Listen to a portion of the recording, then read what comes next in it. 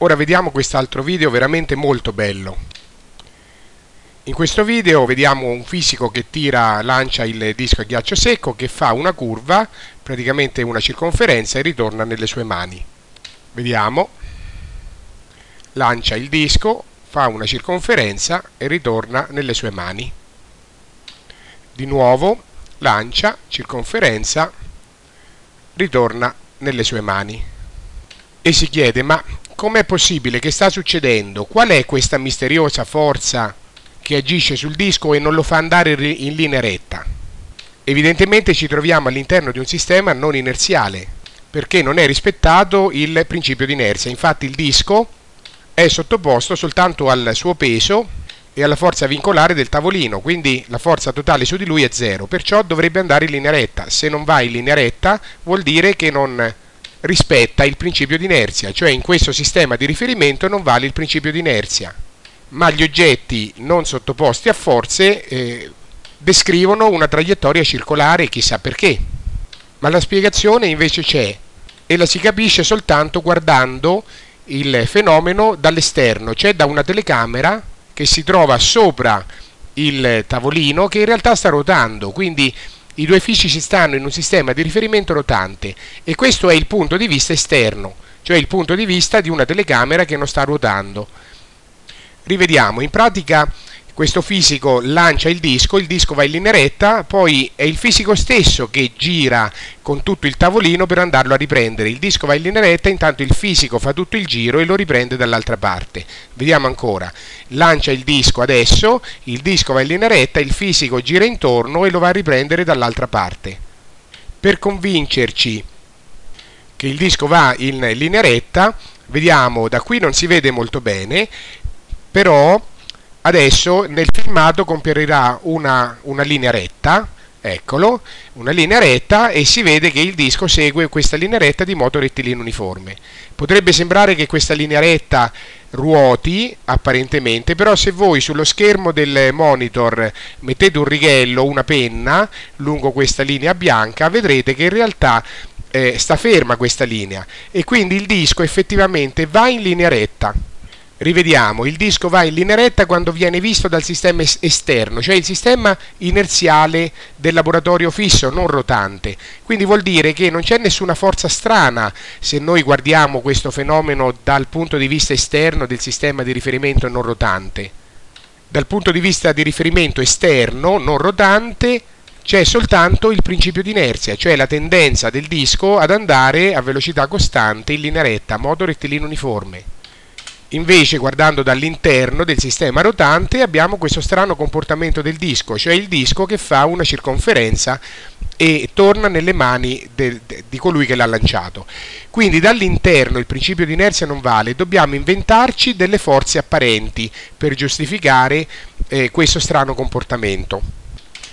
Le forze apparenti ricordiamo che appaiono soltanto nei sistemi di riferimento non inerziali, come appunto il sistema eh, rotante, quindi il tavolino che ruota.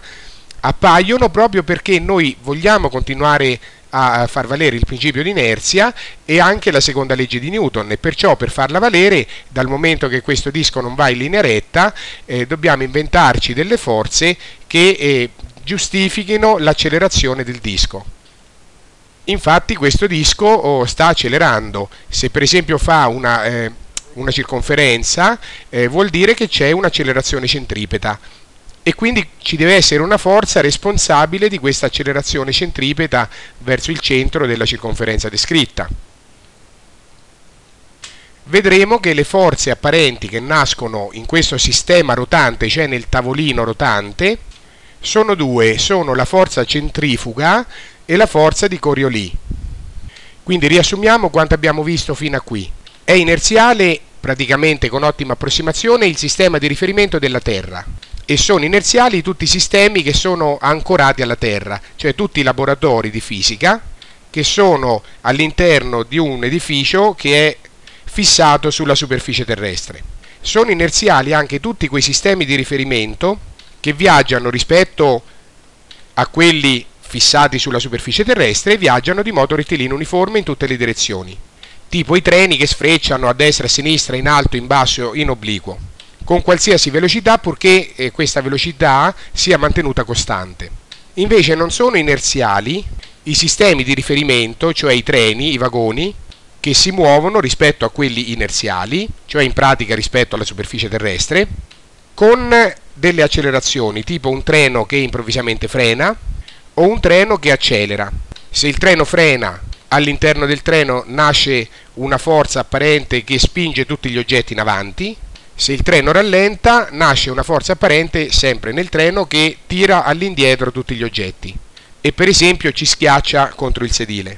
Ma non sono inerziali nemmeno quei sistemi di riferimento, diciamo quei treni, che hanno delle accelerazioni di tipo centripeta, cioè quei sistemi di riferimento che ruotano come questo tavolino che sta ruotando.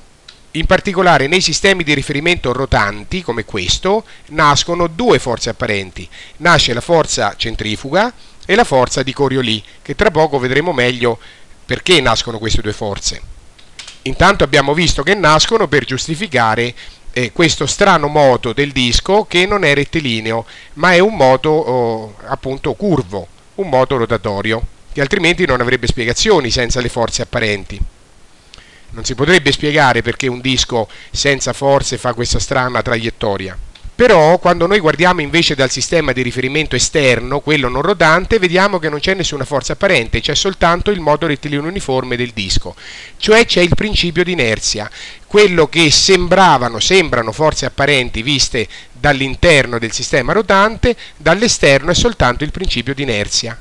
Quindi, guardando dal sistema di riferimento non rotante, non c'è bisogno di utilizzare nessuna forza apparente, semplicemente il principio di inerzia, cioè il disco va eh, in linea retta a velocità costante, come vediamo qua.